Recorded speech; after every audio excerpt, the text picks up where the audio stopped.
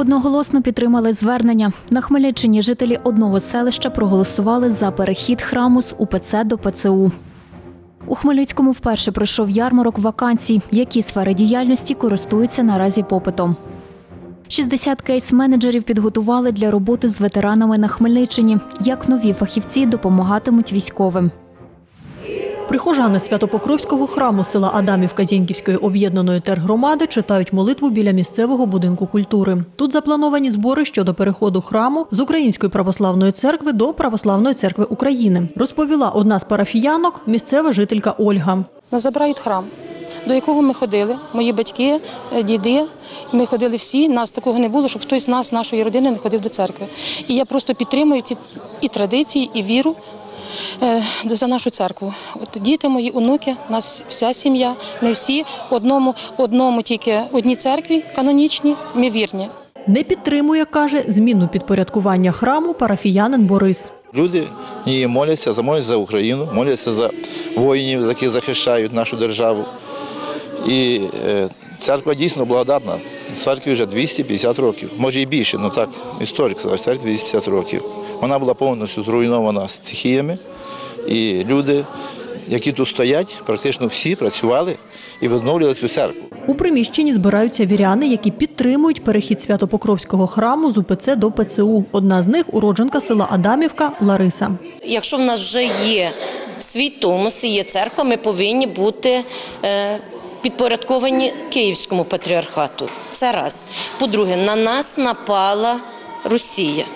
І от перше, що спонукало, і я так думаю, мене і всіх людей вийти з під цього під- підпорядкування, і ніхто не хоче мати і чути, і знати Росію. На зборах зареєструвалися 62 учасника. Усі вони, за словами Ніни Трембовецької, яку обрали головою зборів, є уродженцями або жителями села Адамівка. Ті, які мають відношення до церкви, які ходили їхні батьки, вони ходять, і це реєструються лише ті. Незаконними ці збори називає священик Святопокровського храму Андрій. За його словами, 25 червня відбулися збори релігійної громади в храмі, де парафіяни проголосували проти його переходу з УПЦ до ПЦУ. Під головуванням священника проведені були загальні парафіальні збори, в яких ми одноголосно ем, е, залишилися вірними Українській православній церкві під головуванням блаженнішого митрополіта Онуфрія. Протокол зборів ми завезли в понеділок, 26 числа Хмельницьку військову обласну адміністрацію. Ми приїхали того тижня сюди для того, щоб е, підтвердити їм, що вже збори проведені були. Зі слів Ніни Трембовецької, того дня хотіли організувати збори в будинку культури. Ми їм сказали, що давайте ми всі знаємо наші позиції. Щодо УПЦ і щодо ПЦУ. Е, Давайте ми зберемося, сядемо, почуємо одне одного і зробимо правильні збори. Зареєструємося всі і будемо голосувати. Вони відмовилися, категорично відмовилися, і криками і мантрами своїми співами вони зірвали нам збори. Перед початком зборів до їх учасників звернувся священик Андрій. Ви, по-перше, поступаєте незаконно. Чому? Тому що повинні збори проводитися в храмі святому, під головуванням священника, настояння парафії. Ви, якби мудро поступили, ви могли б провести свої збори від ПЦУ і, і оформити, і оформити свою релігійну організацію, в якій ви могли б себе проявити. За те, щоб ви за те, щоб вас тут не було. Або не порушували. 62 учасника зборів підтримали перехід Святопокровського храму з УПЦ до ПЦУ.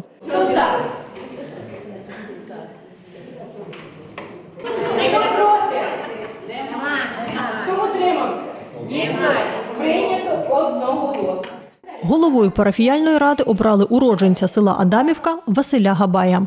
Коли вже документально все буде змінено, тоді будемо вже приймати рішення, що, що змінювати, що робити.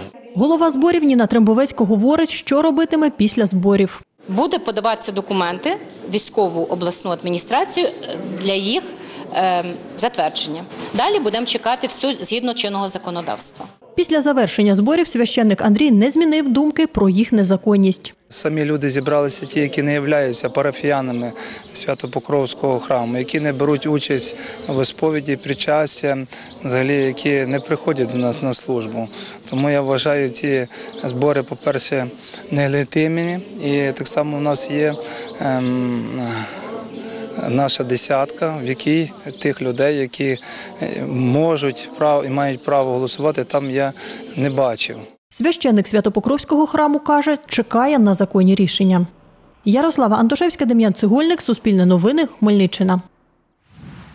Ми на ярмарку вакансій у Хмельницькому. Сьогодні 20 підприємств представили тут свої ядки. Хмельничани та внутрішньопереміщені особи можуть дізнатися інформацію про вакансії, знайти для себе роботу, пройти майстер-класи з написання резюме, саме такого, яке зацікавить роботодавця. Також дізнати інформацію про віддалену роботу. Ну і дізнатися саме про ті професії, які на сьогодні потребує хмельницький ринок. Хмельничанин Віталій прийшов на ярмарок вакансій в надії знайти роботу. За фахом чоловік соціальний педагог. Каже, ця професія не затребувана на ринку, тому перекваліфікувався на продавця-консультанта. Підшуковую вакансію. Сказали, що можу їм підійти.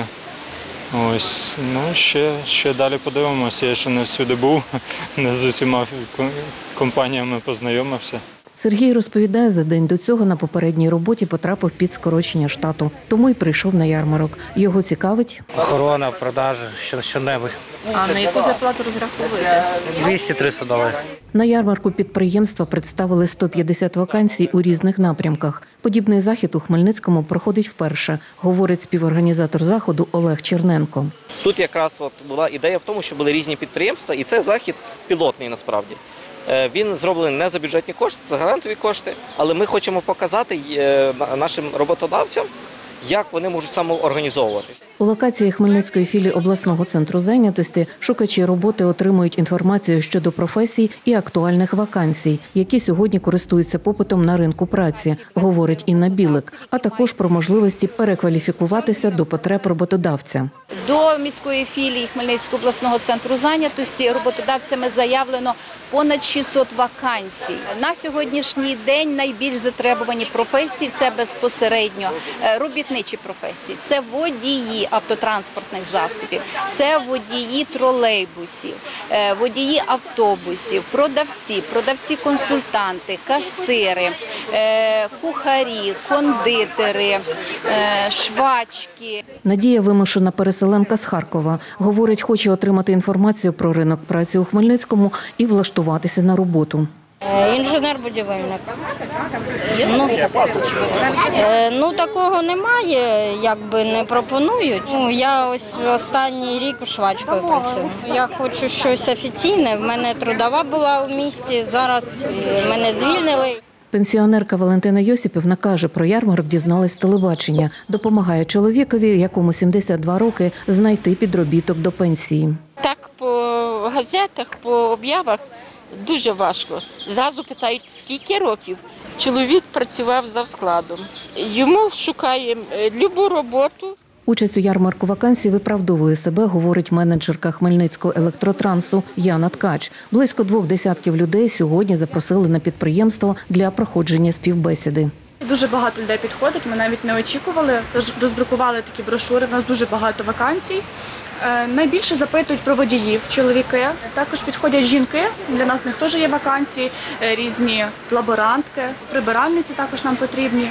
Наталія Паляниця, Оксана Євтухова, Суспільне новини, Хмельницький. Ветеран російсько-української війни Петро прийшов до управління праці та соціального захисту населення. Чоловік каже, отримав інформацію щодо свого питання. Петро розповідає, з якими зокрема проблемами доводиться стикатися військовим після повернення з фронту. Медицинське обслуговування, черга на очення і немає кваліфіцірованої роботи психолога. Працевлаштування, я вам зараз скажу, я як я ще не стикався з тим, бо то, що хлопці ще воюють, дуже тяжкі е, житлові умови. Людина, яка йшла воювати, або в нього були нормальні житлові умови, то значить нормальні, або в нього взагалі не було ніяких житлових умов. І так само воно не покращилося.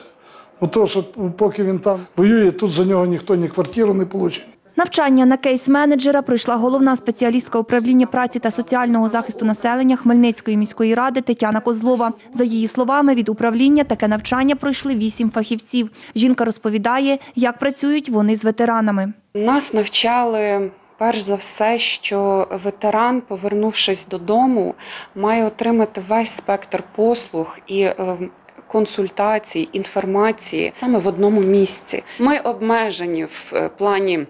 Надавати повний спектр послуг, але хоча б роз'яснення зовсім різні питання, якщо чесно, від е, пільг до проїзду, від проїзду до ем, санаторно-курортного лікування. 60 кейс-менеджерів підготували для Хмельниччини. Про це розповіла керівниця проєктів організації Простір можливостей Оксана Коляда. За її словами, такі спеціалісти допомагатимуть ветеранам та членам їх родин, зокрема з отримання різних послуг. Спеціалістів готували як для громадського сектору, так і державного. Стартове оформлення всіх документів, допомога в цьому це допомога перенаправлення до спеціалістів, які надають, до прикладу, послуги медичного характеру. Це послуги з працевлаштування, можливо, перекваліфікація, можливо, ветеран чи ветеранка захочуть відкрити власну справу. Оксана Коляда каже, які навички мають кейс-менеджери. До прикладу, первинного скринінгу стану ветерана чи ветеранки, або ж до прикладу психоедукації, пояснення певних процесів в родині, як потрібно комунікувати з ветераном, які питання можна задавати, які не можна. Реінтегруватися після фронту допомагали рідні та друзі ветеранці російсько-української війни Катерині Луцик. У 2021 році, розповідає жінка, спеціальних фахівців в Україні не було. Катерина також пройшла курси кейс-менеджера, каже про завдання зараз. Ми розуміємо, що наші військові зараз переважно всі на фронті, то задача кейс-менеджер працювати з родиною ветерана. Ми дійшли такого висновку, що в кожній громаді має бути такий представник, який буде зустрічати ветерана, е, налагоджувати з ним перший контакт, тобто робити аналіз його запитів, проблем, питань. Кейс-менеджер нічого не робить за ветерана, тобто він надає йому інформацію, аналізуючи його запити, проблеми, питання. Кейс-менеджерка від громадського сектору Леся Стебло розповідає, що до навчання працювала із ветеранською спільнотою та їхніми родинами. А зараз наразі після навчання, звичайно, що ми вже зробили напрямки саме. Допомоги від громадського сектору е, закріпили їх. Постійна комунікація, надання психологічної підтримки, тому що це теж не, немало важливо. Ветерани і ветеранки, які звертаються після того, коли вони отримали поранення е, щодо е, перекомісії, е, це е, комунікація з МСЕКом, де теж дуже багато виникає питань. Ну і звичайно, що юридичний супровід. За словами Оксани Коляди, в Україні ще планують навчити найближчим часом півтори тисячі кейс-менеджерів. Вікторія Мельник, Світлана Крентовська, Суспільне новини, Хмельницький. 12 дворових Олімпійських ігор відбулися на території шкіл Хмельницької тергромади, у яких взяли участь 465 дітей. Про це Суспільному розповів директор міського центру по роботі з дітьми та підлітками Олексій Янчук. За його словами, під час ігор діти віком до 13 років брали участь у різних спортивних змаганнях, серед яких метання спису, стрибки в довжину, штовхання ядра, кільце-кит, набивання футбольного м'яча та ознайомилися з новими видами спорту. На цьому дворові Олімпійські ігри не закінчуються. Від сьогодні їх будуть проводити на пришкільних спортивних майданчиках хмельницьких міських шкіл. Долучитися до ігор можуть як учні місцевих шкіл, так і гості обласного центру. Як розповів Олексій Янчук, відповідно до графіка, у липні мають провести 9 дворових Олімпійських ігор. Початок о 16 годині.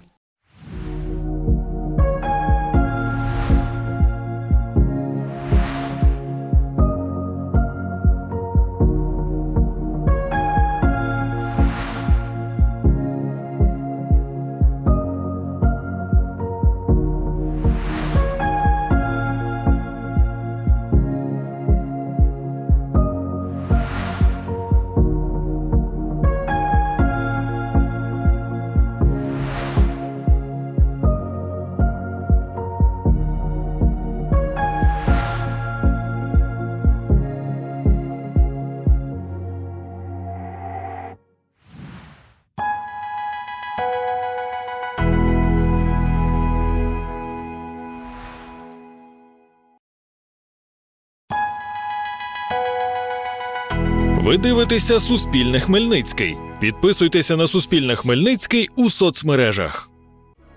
Час дізнатися найважливіші спортивні новини від команди Суспільне спорт. У студії для вас працює Юлія Пазенко.